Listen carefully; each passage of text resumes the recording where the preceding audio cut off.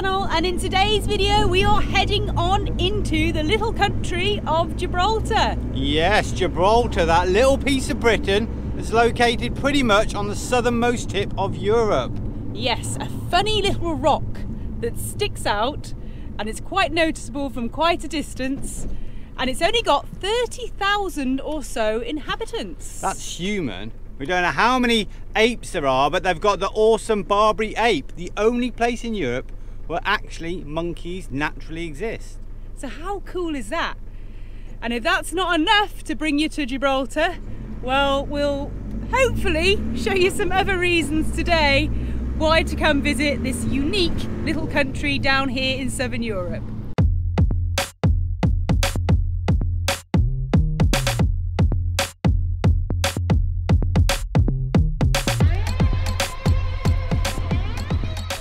Obviously, you need passports to get in. But they don't always check them.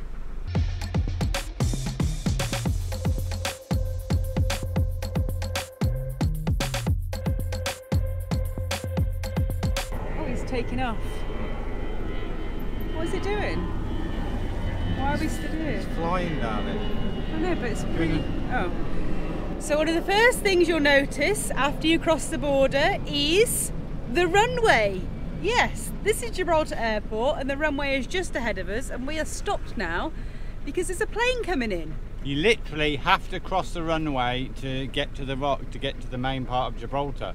And it's one of the most dangerous and one of the most difficult runways to land on in the world. Yes? I think you Because have to be like a, a special pilot, or you have to do a special thing to be able to land here because of its a bit like Nick says because of its length. It's very short. So you kind of imagine, yeah, landing in Gibraltar and having to put the brakes on a lot quicker so you don't plop off the other end of the sea. Yeah, because you've got the winds as well coming that chase around the rock sort of thing, so it makes it very tricky. But anyway, that's quite unique, isn't it? You actually have to actually cross the runway or have to wait for the plane to land before you can get into Gib.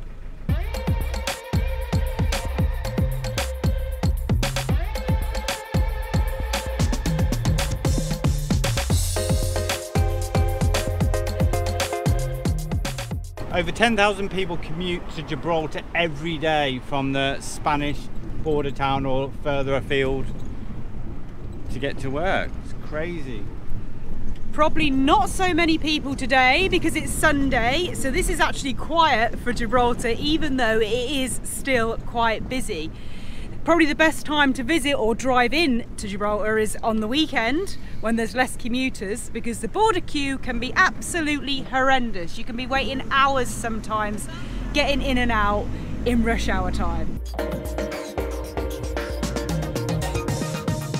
So Gibraltar is extremely built up. It's only got a little bit of kind of land around the rock, if you like, to actually build on. And then obviously up the rock is like a protected area and it's a very steep rock. Pretty much everywhere that's built on is reclaimed land. So hundreds of years ago, Gibraltar was literally just this rock sticking up. And it was only joined to the mainland by a very narrow strip of land. Yeah. Whereas now, obviously, there's a huge runway which we've just crossed.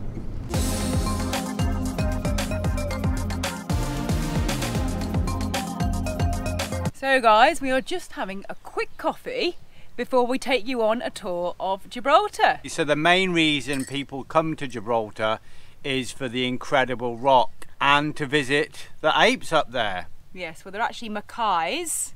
Um, yeah, but a type of type of monkey, the Barbary Barbary Barbary macaques. Yeah, there's hundreds up there, and it, as we said before, it's the only place in Europe where they exist in the wild. So that's the main reason to go up the rock, but there's so many others. Firstly, the views from up there are incredible down either coast and over the whole of Gibraltar. Then you've got all the history. You've got the great siege tunnels which were constructed in the eight, late 18th century. They were later extended into World War II tunnels. You've got over 200 caves there. Yeah, so there's basically loads of history up there and loads to do and see. Now, we're not actually going to go up there today because it's quite warm, a bit too warm to leave the dogs in the car, and we don't think we can really take the dogs up there because of the monkeys, because of the, the macaques. Yeah, it's not advisable to take dogs if your dogs aren't monkey friendly.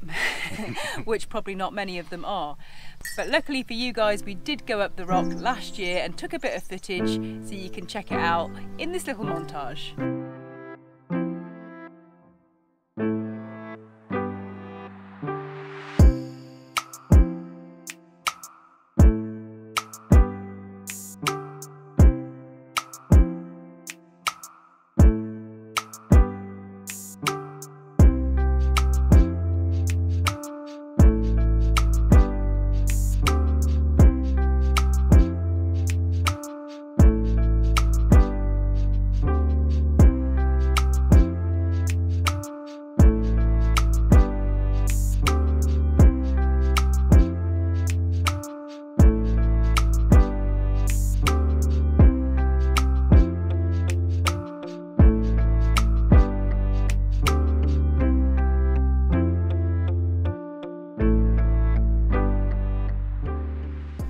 So there's several ways to get up the rock. Um, we did the Mediterranean steps, the Med steps, which is absolutely fantastic. Phenomenal views all the way up and um, a brilliant workout as well. They're quite steep, but it's totally safe and well worth the effort. There are easier ways to get up there, and the most popular is the cable car. Couldn't be easier. You can get straight to the top, straight back down.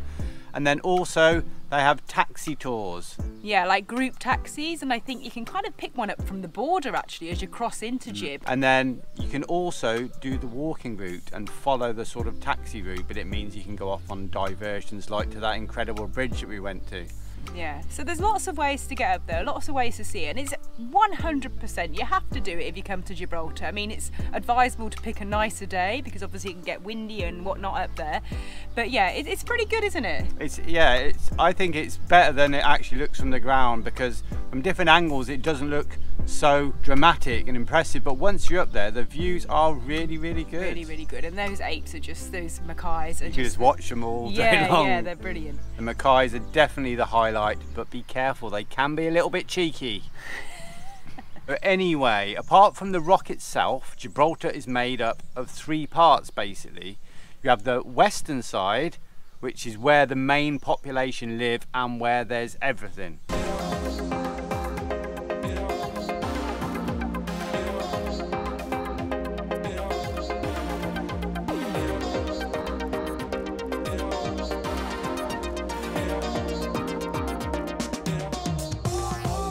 Basically the main commercial area of Gibraltar is made up of two main streets. These lead on to the famous Casemate Square, which used to be Moroccan Barracks. This now has loads of shops, restaurants and bars. Aside from that, you've got a couple of nice marinas, the newest one being Ocean Village, which houses two casinos, one land-based and one actually a floating ship. Again, there's loads of restaurants and bars there, and a lot of them are built on water.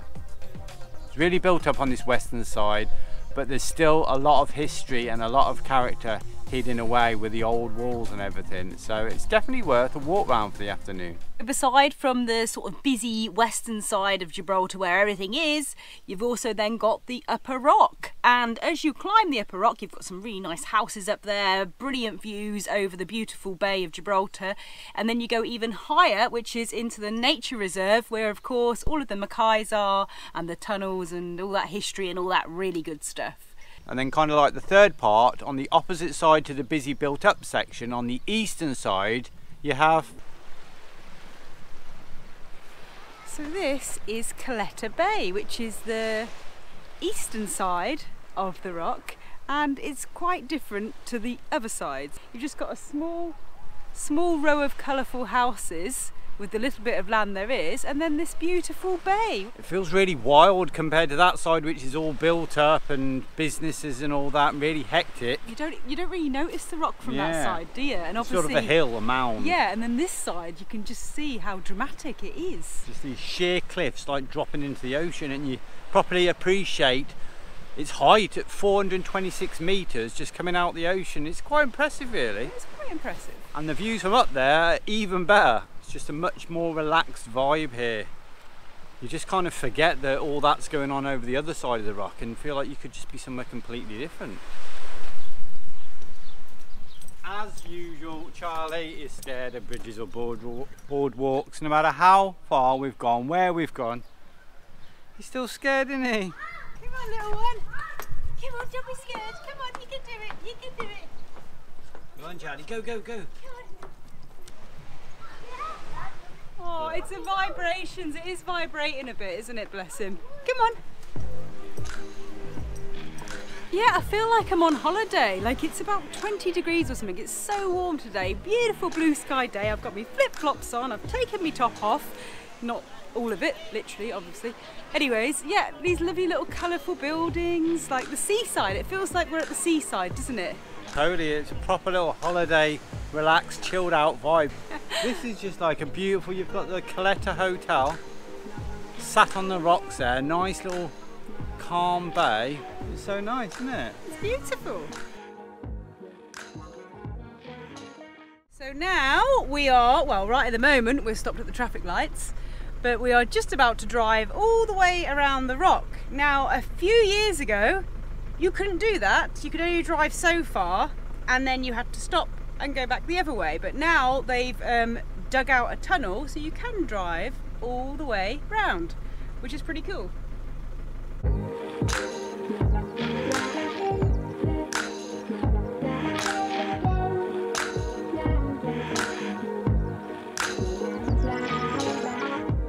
So this brings you out the far end of the rock where all you can see is across to Africa and Europa Point.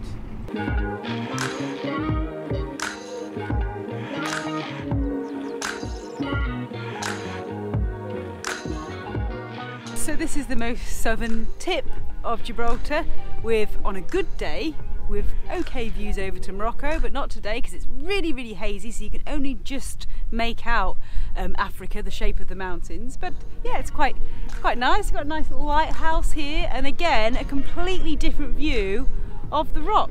Yeah, it's quite cool that you can drive all the way around the rock now because you get completely different views. From here, it looks like a mountain from Caleta Bay where we just were. It's like a sheer rock face, yeah. and the main sort of area where everything is it's just like a big hill. Yeah. And it looks a lot greener. And the weather's side. different. You come round the corner through that tunnel, it's actually quite cold here, isn't it, compared yeah. to Caleta Bay because it's quite a lot more windier.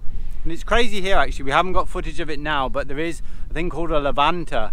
The cloud comes from the east and it hits the rock and forms like a proper cloud yeah. over sort of the main area. And, and apparently, if the rock was just a few meters lower, that cloud would rise over the top instead of hitting the top of the rock and causing this kind of Levanter cloud. And it's funny, yeah, because they said if they drilled a hole through it or had a little tunnel, then it would you'd stop the Levanter, whether that's just a myth or a legend or a joke or whatever. The Levanter can ruin a nice sunny day because all of a sudden the rock, just Gibraltar, would be completely covered in cloud, quite cold mm. and um, very grey, and you would just go over the border a little bit into Spain, and it would be a lovely blue sky day. So it has its own weather system. Quite a unique place. If you're in the area, come visit it. But we have now got to go to Morrison's pick up some supplies.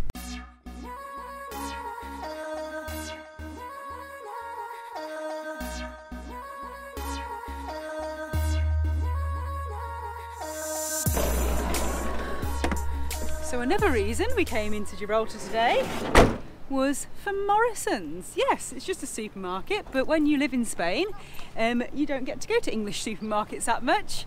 So here we are. We're going to pick up some supplies to take to Portugal with us. Yes, we definitely need to stock up on Marmite because we are running low and I haven't had any crumpets for so long. Let's go.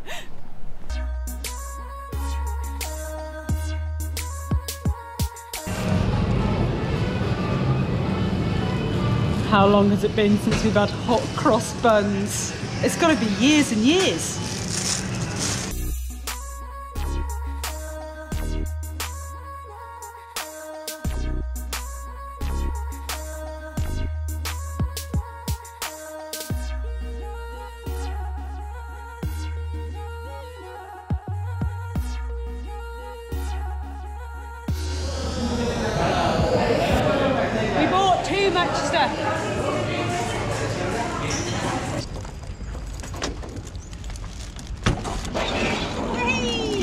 They are, there they are, there they are. We're in Gibraltar, Charlie. We're in in? Good boys. Good boys. Oh, we must have something in all this shopping for my babies. Have we? The boys always have to get a treat when we come back to the van, no matter where we've been, how long we've been, whether we've been two minutes or two hours. They always have to have a little treat for being good boys and good waiting. Don't worry, Dizzee's gonna get one. Where is he? There we go, Diz. Yeah, you're good boys, aren't you? There we go. Good dogs. Good Diz. We have to be careful with Charlie because we have been told by a friend that we hadn't seen for quite some time that Charlie looked like he'd put on quite a bit of weight. So we're like, hmm, has he? What do you guys think? So we didn't film in Morrison's really? Because after all it's just a supermarket. And as a lot of you guys are from Britain you've probably seen Morrison's all over the place. But we love it. As we live in Spain it's nice to come in and get some things you just can't get in Spain. The Spanish supermarkets are great but they don't have everything. Yeah, there's lots of kind of like um, things like, I mean, we can't get vegan mayonnaise in Spain. We can make it ourselves, but obviously it is nice to pick up something, some things like this every now and again when you get chance. Of course, when we come to the UK later on this year, we're all we're going to be in heaven, aren't we? Because we can get whatever we want when when we want it. Don't forget this. yeast Marmite couldn't come in without topping up on some Marmite or yeast extract Baked beans. baked beans British classic so as Gibraltar is a tax haven there's certain things that are quite cheap here things that are highly taxed normally one of them being alcohol. Now as we live in Spain beer and wine is really reasonably priced but in Morrison's all your spirits are ridiculously cheap. We didn't get any, by the way. We've been very good, and we didn't get any vodka or whiskey or anything like that, did we? I'll be going back in off camera. So now we're stocked up on food. It's time to go and fill up the van with some diesel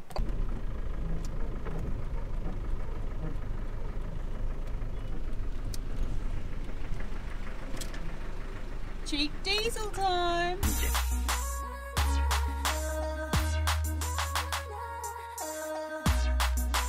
That is still one of the cheapest, if not the cheapest, petrol price in Europe. Or not in Europe now, because Brexit's happened. But yeah, 95.9 pence a litre of diesel. Happy days. Was the quick tour of this unique little rock of a country here in Gibraltar. We're heading back over the runway now, past the airport, and getting our butts back into Spain. So we're very happy as it's the weekend, there's no queue here. This can be like six lanes of traffic and can take you hours to get out. Thanks for watching, I hope you enjoyed this vlog showing the unique Little Britain abroad. I will see you in the next video. I proper feel like I'm on holiday. It's like, I don't know, close, it must be close to 20 degrees. It's so warm today. I've got my flip-flops on. I'm kind of half, you know, oops. Oh, Dizzee's doing a poo, sorry. So thanks for joining us in another fun-filled travel, fun-filled? So thanks for joining us for another fun field travel vlog. Fun field, I'm sure you said field fun again. field field fun field anyway yes thanks for joining us in another travel vlog